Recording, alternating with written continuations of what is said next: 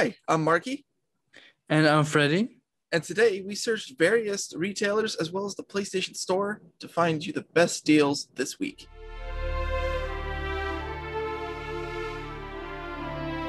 To kick things off, we have Marvel's Avengers at GameStop down to $24.99. It has reached this price point in the past, but I'm only recommending it now because a lot of the updates that are going to be coming up to this game are going to be free to download, including a Black Panther and a new, I believe, time skipping one involving Hawkeye.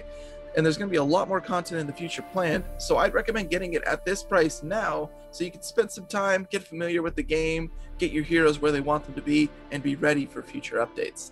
Definitely. And I recommend buying it on PS4 so you can get the Spider Man expansion that you won't be able to get on Xbox definitely. It's uh the best way to grab a hold of it now on PlayStation at $24.99. So definitely check it out. Resident Evil 2 is on sale at Best Buy for $17.99. This is my first game in the series. I'm not usually into horror games, but this game had the enough level of suspense, great story, and amazing graphics to keep me played to the end. This game uh, is unique because it gives you a limited amount of bullets to keep you on your toes. Sometimes the game uh, will give you the chance to run away and hide, but in other times you have no choice but to fire at the zombies. Overall, it's a great game and I highly recommend it at this price. Moving on to a lighter title, we have Immortals Fenyx Rising down to $29.99 at Best Buy. Uh, Ubisoft games do tend to go on sale pretty quickly. Uh, it has hit this sale price before, but it still doesn't uh, dissuade the fact that this is a game that's worth getting, especially at essentially half price at $29.99. It's a game that's very obviously inspired by Legend of Zelda Breath of the Wild, but also mixes in a lot of gameplay elements from the Assassin's Creed series. Um, all wrapped up in an aesthetic of Greek gods, even with DLC expansions that you guys can get uh, that explore other pantheons of gods as well, but mostly Greek. Um, it's as well surprisingly humor driven. There's a lot of meta humor and a lot of other jokes that can set up that can really make the exploration of the world a lot more enjoyable. Puzzles, pretty interactive combat, a gear driven system. It's all there for a big, expansive experience. So I would definitely recommend picking this one up for your collection. Moving to the sales on PlayStation Store, we picked for this week Shadow of the Tomb Raider Definitive Edition at $14.99, which is the third and likely the final part of the Lara's origin story. The Definitive Edition comes with all 7 DLCs that include 7 side missions or challenges, extra skins, and weapons. So it's definitely great value for the price. This game is very similar to Uncharted where you go on an adventure, you will have to solve puzzles, other times you will have to use your stealth skills, and other times you have no choice but to shoot and fight the enemies. The demo is available to try to try uh, before you purchase it and uh, I would definitely buy the previous game in the series first to understand the story and what's happening, or at least start from the second game in the series, which is The Rise of the Tomb Raider. Since the first game was very short and you can get away without playing that part. So, a good entry would be second one. If you played it already, definitely recommend playing the third one at this price. The PlayStation Store deals continue with Far Cry New Dawn at $11.99, $12. Um, one warning in regards to the game, though this story for Far Cry New Dawn does take place after the ending of Far Cry 5. It will inherently spoil Far Cry 5's story.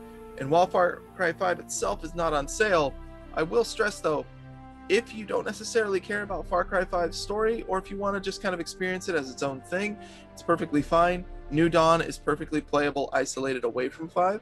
It's just that it will inherently spoil a major part of the ending. And if you don't care about the major part and just want the intricacies of the story, you can still enjoy each of them separately. Far Cry's gameplay is speaks for itself. Um, it's got an open world style, uh, except the difference for Far Cry New Dawn is that it's post-apocalyptic, um, and you get to experiment with a lot of wackier weapons. It's got a, a pretty elaborate crafting system, some vehicle combat as well. You get a lot of uh, a lot of intricacies to explore when it comes to that uh, that Far Cry hasn't been able to do before. So, uh, it's a strong first-person shooter game, a big open world to explore, and for 12 bucks, you can't really go wrong. So definitely check it out. Marky, I was wondering if Far Cry New Dawn also has a co-op mode similar to Far Cry 5. It does. Uh, they still kept it all intact. You're still able to just invite a friend and enjoy it. The best thing about it is that with the crafting system, the new thing that's in this game, um, you, having a buddy in order to pool resources and make kind of the crafting process a lot faster is actually preferable in a lot of ways. So it's also recommended. Uh, give it a shot with a friend. Finally, for the PlayStation Store, we have Witcher 3 available at $7.99. I will stress though, um, this is not the Game of the Year edition, not the complete edition, rather. It is the standard Witcher 3. But uh, you can't go wrong with 7.99 for one of the biggest games of the generation, or last generation, rather. It's a fully immersive open world RPG that can be tackled any way you like. A hundred side quests, it feels like, a bunch of main quests, a bunch of DLC expansions to explore as well. There's a lot of time to sink into this game and a fully realized and well told world for you to get wrapped up in. Can't recommend it enough. At eight bucks, one of the best deals around right now, so definitely check it out. Marky, I know there is the for Witcher 3 they are making new updates for the PlayStation 5 and the Xbox Series X. If somebody bought the game now on PlayStation 4, what would be the situation for somebody moving on to the next generation? It's a good question. Um, the best way actually to take advantage of this deal, one of the reasons, is that the PlayStation 5 upgrade will be completely free for anybody that owns Witcher 3 in any capacity. So if you're gonna get a hold of it, I'd recommend getting it now for eight dollars you get a PS5 down the line, or if you already have one, once the next generation upgrade becomes available, you just download it for free. You get access to the boosted frame rate, a lot of visual ambient effects, faster load times, which is a must for a game like this. And you get all of that at no cost. So definitely get a hold of it while it's really cheap so you can get access to a completely different version of the game. These were the deals we picked for this week. Did you play any of the games we mentioned, or are you going to pick up any of these games? Please comment below if you enjoy the video. Please press like and hit the bell button for video notification. It will help the, our channel to grow. Thank you for watching and we'll see you all next week.